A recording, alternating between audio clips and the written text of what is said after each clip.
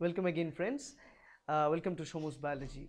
In this lecture we are going to talk about feedback inhibition.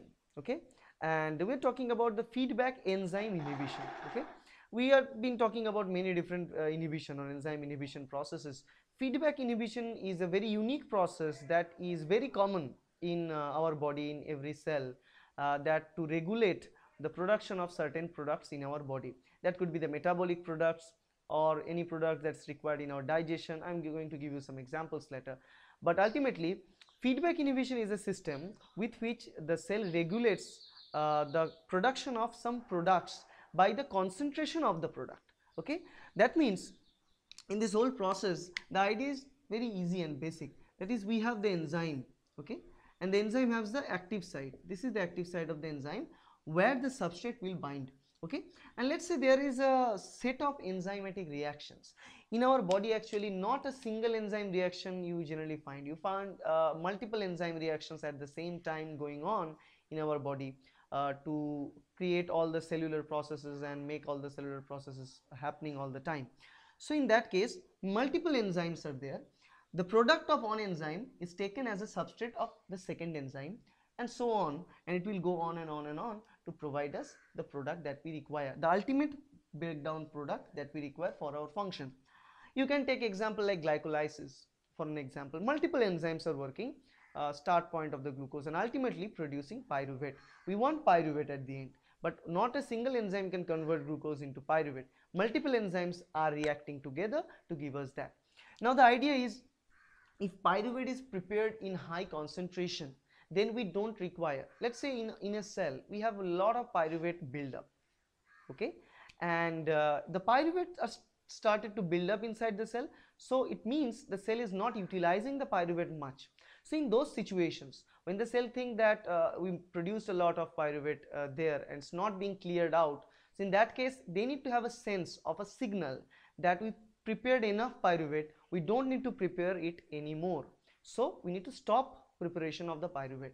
So for that reason, the concentration of pyruvate will act as an inhibitor. The pyruvate molecule in that case act as an inhibitor to block the whole glycolysis pathway up to a certain point so that no further pyruvate molecule is being made okay and this is called feedback inhibition in that scenario if we go to this example let's say an enzyme enzyme have the active site as well as it has the allosteric regulator site this is the allosteric allosteric site now this enzyme can bind with substrate and it can bind with all the molecules that will regulate its function and stuff.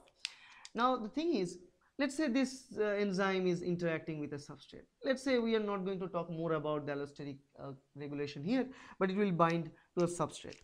Uh, once the substrate is attached to the enzyme that substrate is converted into the product. Let's say this is the product okay.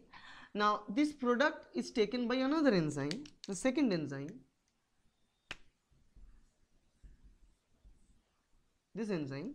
And again this will be acting as a substrate for this second enzyme. And then it will convert it into the third product which is A. Now this third product acts as a substrate of another enzyme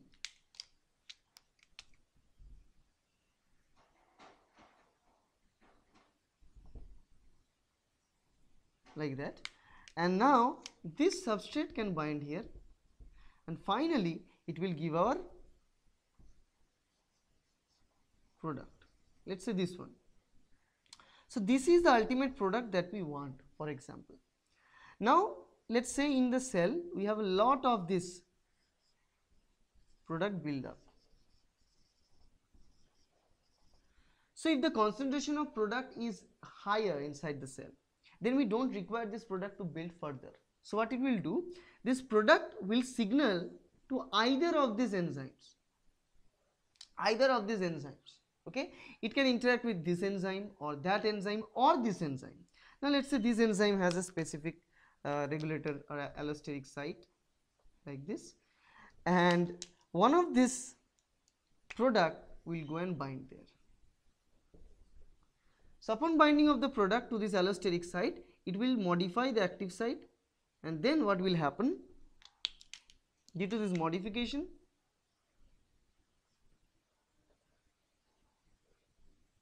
let's say they'll modify it into some kind of structure like this. So as a result of this modification this substrate can no longer bind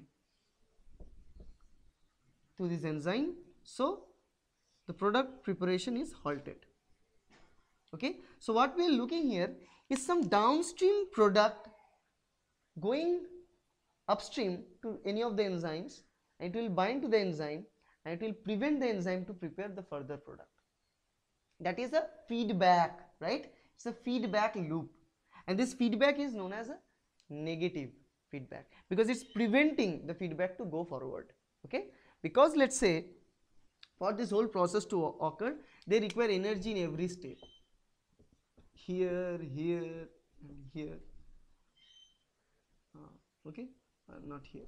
And let's say here. So in every step they require ATP as an energy source.